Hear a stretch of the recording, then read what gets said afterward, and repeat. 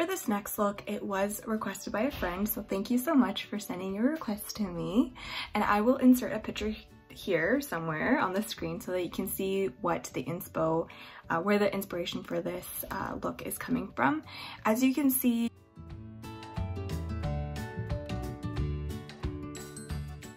Um, in this picture, you can see her freckles. The brows are quite natural. The eyeshadow is very natural. The lip color is very natural. So this is going to be almost like a summer smoky brown look.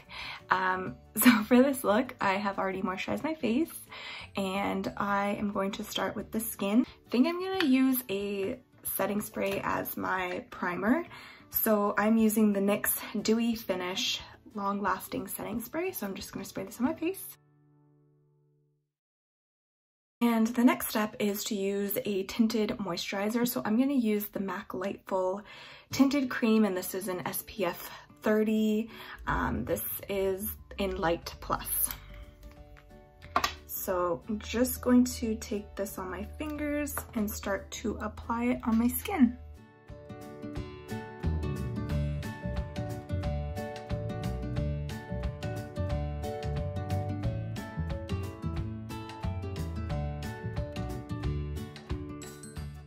So this is exactly like a moisturizer, just with a little bit of tint to it.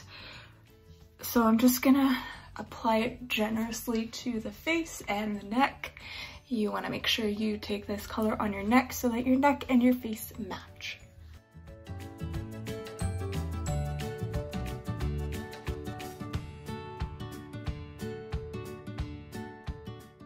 So that's a glowy finish, uh, a little bit of color, not too much, so I really like that. So this model has a very natural under eye look. She doesn't have a lot of concealer, so I'm going to take my concealer, this is by e.l.f., and I'm just gonna apply a little bit to the inner corner and a little bit to the lid, just on the inner corner. And I'm gonna blend that out with a damp beauty blender. Um, this was clean, I just created another look uh, before this one, so that's why it's dirty, but I promise it was clean. Um, and I'm just gonna blend this concealer out, keeping it concentrated on the inner corner.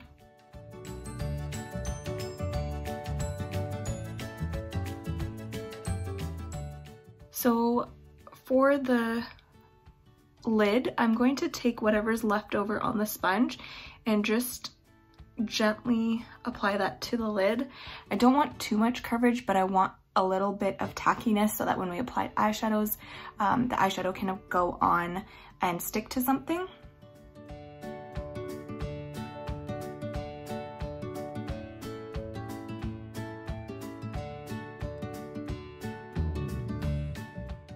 So now I'm gonna set the under eye area and I'm going to use my Laura Mercier translucent powder and a small brush like so. Pick up a little bit of the translucent powder and just tap this into place, just sticking to the inner corner.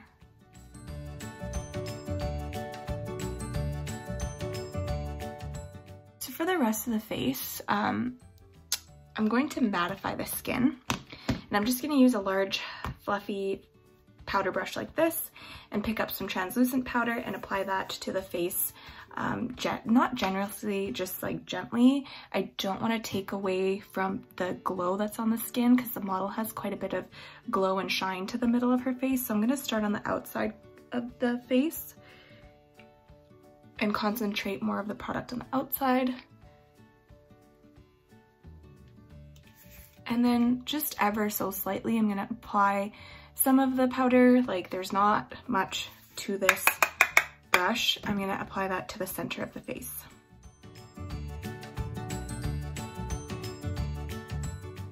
As you can see, there's still a bit of a shine, a glow to the skin, just like the model has, so I'm gonna leave it at that. For her other face products, like her blush and her bronzer, she's got it quite um, blended out. So I'm going to use a large fluffy brush like this and my Hoola bronzer.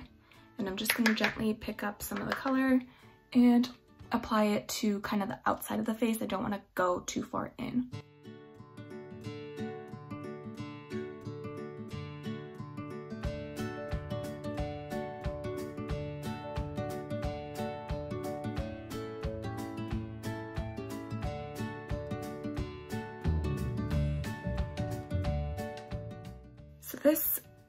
Model is wearing a matte blush and I'm gonna use one of my favorites, which is the Melba blush by MAC. And I'm just gonna pick some up on a brush and apply that to the apples of my cheeks, concentrating more on the apples and gently blending into the bronzer, but I'm not gonna drag it very far.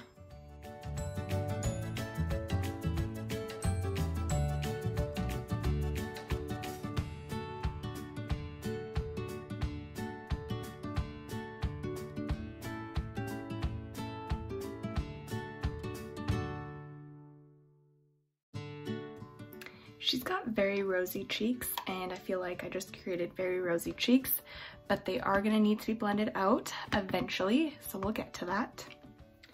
For my eyeshadows, I'm going to use the Too Faced Just Peachy Mattes palette.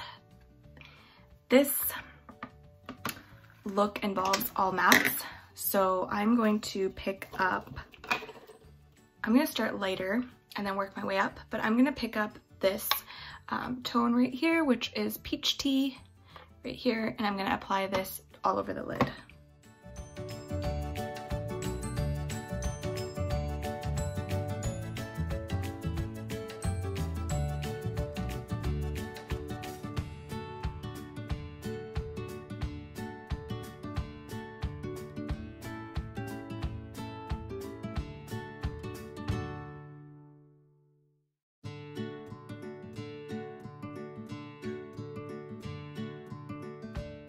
So I'm not gonna apply any more shadow to the lid or um, to the crease, but what I am going to do is with just a clean blending brush. This one is by Contoured Studios. So it's clean, there's no product on it. I'm going to blend out the edges and soften them up.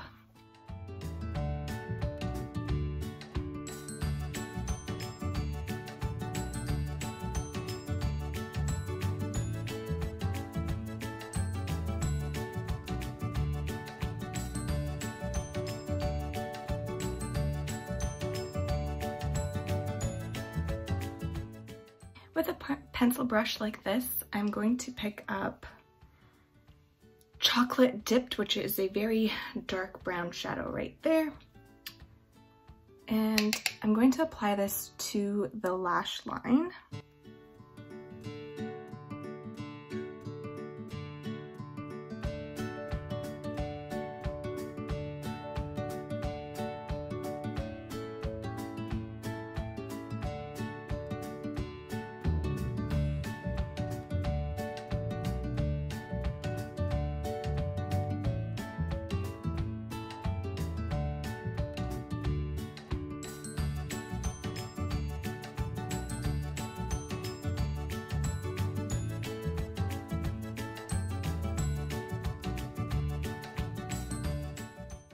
Going back to the first eyeshadow brush and the first shade that we use, Peach Tea, the very light brown color, I'm just gonna put this on top to add a little bit more color to the lid and to help kind of blend the color that we just applied. I'm not sweeping this all around, I'm just applying this on top.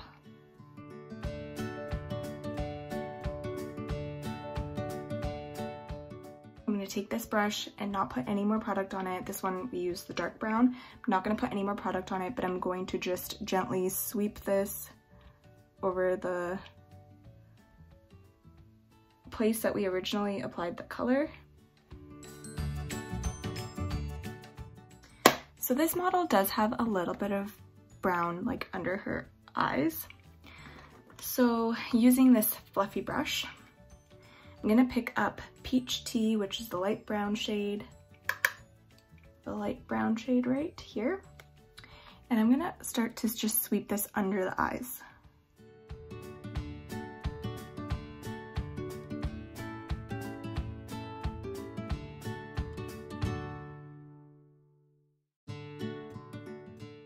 This brush that we just used to sweep the shame, the shame, the same peach tea shadow under our eyes.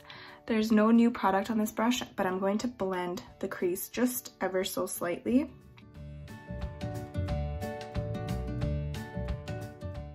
it doesn't look like this model has a lot going on around her nose, but I like a contoured nose. So I'm gonna use my small angled brush like so, and my Hoola bronzer, and I'm going to contour the side of my nose.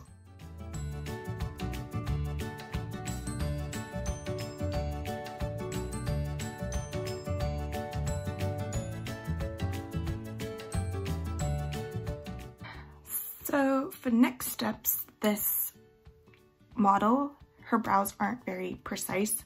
They're actually kind of messy, bushy looking. Um, good thing I naturally have bushy brows. If you don't, you can use a small angled brush like this one and a dark brown eyeshadow or a dark eyeshadow that matches your brow hairs and just draw some hairs in.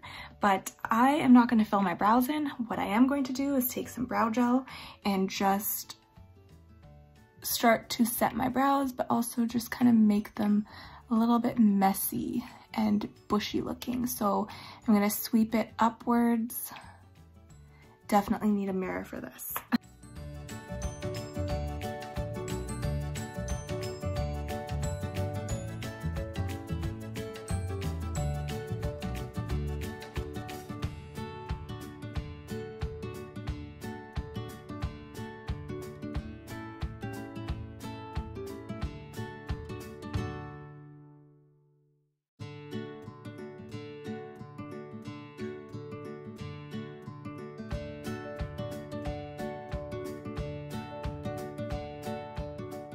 Using a spoolie like this, I'm just gonna brush the brow hairs down.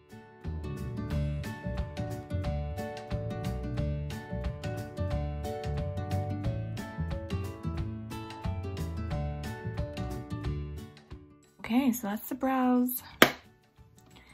For lips, this model has a very natural pink lip color. And I am going to use my Tarte lip Rescue in the shade Rose.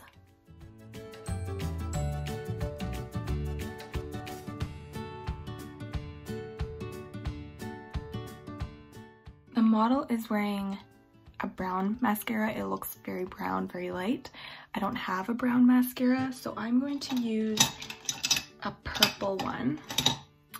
So this is the L'Oreal Voluminous Original in the shade Burgundy.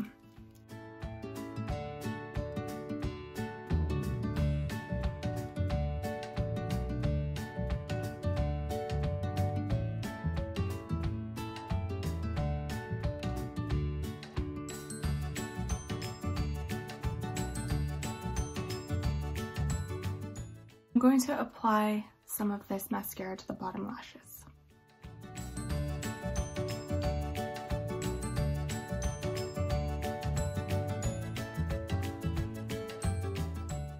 To blend out this cheek color a little bit, I'm going to use a blending brush like this one, a stippling brush. Um, this one is by Contoured Studios. I'm going to gently buff the blush into the skin to blend it out a little bit.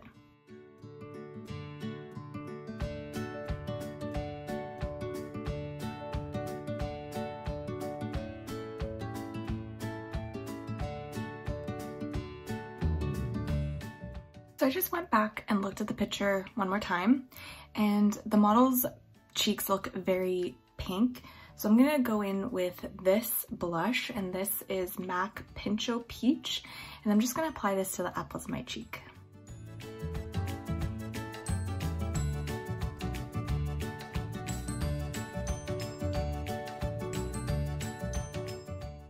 Once again, I'm gonna blend with the stippling brush.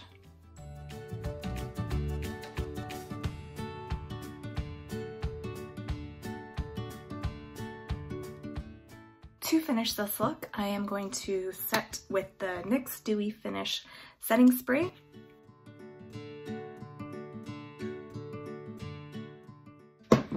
This model has a very dewy finish. She's got a little bit of shine to the center of her face. That's why I'm not using any mattifying products. This is the completed look. It was super simple to do, not a lot of products, kept very light. The skin is glowing. I enjoyed creating this look. So to the special someone that did request this look, I hope you enjoyed the video. I hope you all enjoyed the video. And if you did, please give this video a thumbs up. Don't forget to subscribe so you can see what's next. And if you have any suggestions or recommendations, please send your suggestions to me so that I can create more looks for you. Thanks so much, everyone.